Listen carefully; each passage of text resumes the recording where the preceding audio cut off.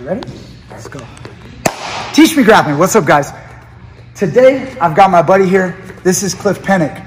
Uh, multiple time judo champion. He's competed internationally. He's got over 50 years of judo experience in judo. Judo. Is this one of those judo jokes like judo know if I have a knife? Judo know if I have a gun. All right. Can you show me some uh, some judo? Sure. All right. Hey, you know what Cliff's gonna do? I think I have an Osotogari video somewhere on my channel. I think I don't remember. Made so many videos, I can't remember what I've taught. But Cliff is the man. He's gonna give some some great details for Osotogari and uh, maybe two different ones, like more like a traditional and then more of, of a competitive Osotogari, right? You got it. okay. So show me how would you how would you start training me? Here, let's come over here actually, in the red. I think this is probably a good contrast. First of all, for a basic Osotogari, traditional, what you want to do is try to get your competitive off, balance on their, on the righty, so on his right leg. So what I want to try to do, just to look at this for either gi or no gi, I used to like holding from the top and grabbing, if you had a gi, from the sleeve and the collar. Ultimately, what you're trying to do is put your opponent's weight all on this leg. In a basic Osotogari, what you want to think about is shoulder to shoulder and stepping in. So I want to be here. I want to step in, shoulder to shoulder. So in my stance, I was a, I'm a righty. So I want to stand here. I step one step with my left. So now it's like we have three legs, and I'm going to bring up my leg, my right leg. If you look at my leg, I went in like in a 45 degree angle, almost like a flipper. My foot is not here. I needed to be here. Okay.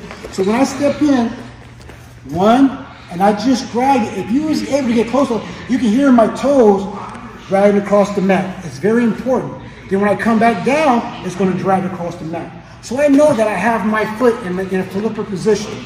So if we can on cam, just listen.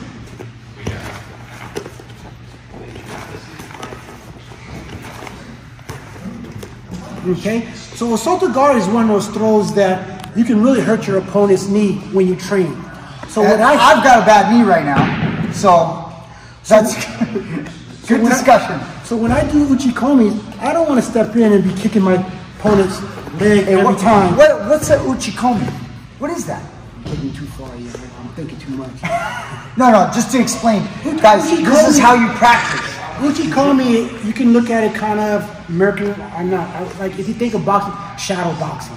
So you're just going through repetition, going through like just shadow uchikomi, shadow of movement. Okay, Going So- through the move, drilling the technique without resistance, right? So I'm gonna stand here, and if you listen, you'll hear my shoulder pop in the shoulder. Go ahead, come a little closer and get that sound. Yeah, and I want to look down at the mat. So when I'm doing my uchikomis, I don't want to do a finishing every time. So I just step in and I pop. Step out, and pop in. Pop in. And then on the last one, I sweep all the way through. Okay, again, sweeping all the way through. Pop in, one, each. Knee, side, she. Fifth one, go. Okay, now I'm getting at what I'm thinking in my mind is like a teeter totter. My leg goes up. When this goes back, my head goes down. And I would have con- contact shoulder to shoulder. Because ultimately, I'm not throwing him backwards. I'm throwing like in a 45 degree angle. Okay? So that's looking at our basic Osotogari. Now, once you get into competition, you're more equally. Here, you know what? I, I'm sorry to stop it. I need you. I know you're getting old and my knee's screwed up, but can you throw me once just so they can see it? Okay. Because a lot of people, they may not even.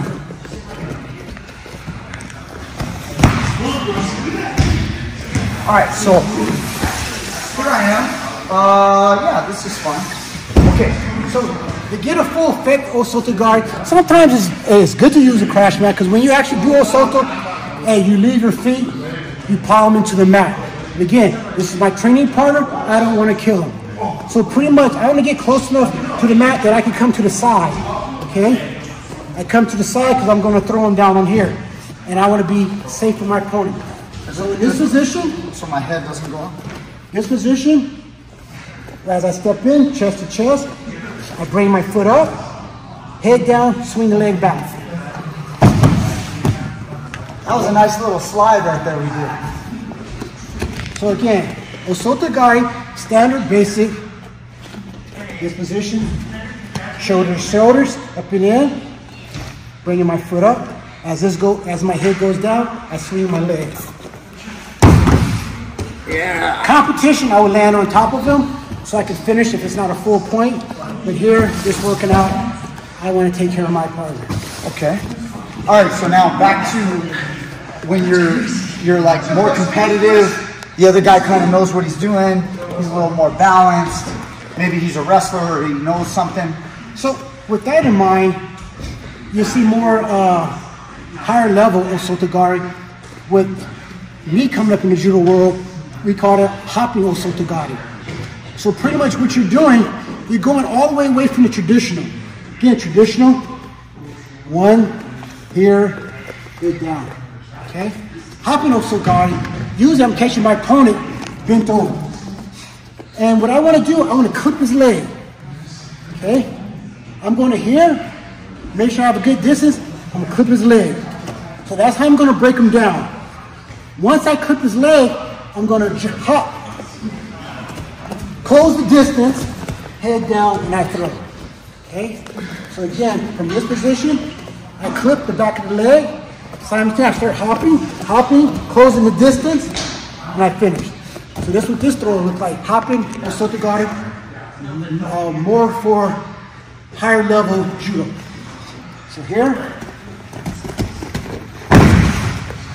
99% of the time when you hop on Sotogari, you're going to land on your opponent because you want to drive him down into the mat. That's One more, one more time. Here. I know where my distance is. I reach out. I start hopping. Closing the distance. Head down and driving into the mat.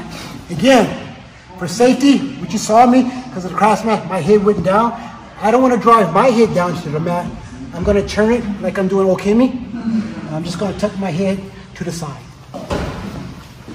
Okay. Like a roll, right? Fall down. Um, so we got these two different ones, and then uh, what I want to touch on on the subject is most people will say, "Well, give me the one that's going to work on the competitive one," because I want I'm I'm in a gym and I'm fighting guys that are like, you know, they're tough, they're strong, they have experience, and they're not just nobodies. So give me that one. But at the same time, what comes to mind for me, like I just got this comment from someone. Someone said, Can you teach me? I got a phone call from a gentleman, and he said, Hey, I really want to do private lessons with you, Coach Brian. Can you give me a takedown? I'm like 50 years old. I'm like 45, 50 years old. Can you give me a takedown that I can do where I don't have to wrestle and like shoot to my knee? I don't have to like get dirty on the ground. I just want something real simple where I could take a guy down if I get in a situation on the street. And what that brings me to think about is, guys, if you're fighting a guy on the street, and you, we don't want to get in fights, but the whole point is, if if if I was the bad guy and I grabbed Coach Cliff and I was trying to grab him, they don't they're not going to be like this. They're not going to approach like slap hands.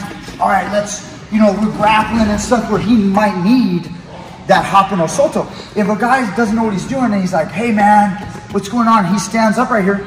Coach, you could just do the basic. The basic could work just simple. Any kind of grip he wants, he could just throw me. If I don't have balance, I'm not a trained guy, that, that that's a very viable move for you. And it's simple to learn. You don't have to have all that athleticism or anything. Just, just a thought to, to go back to the uh, Hopping Osotogari for the more higher level players.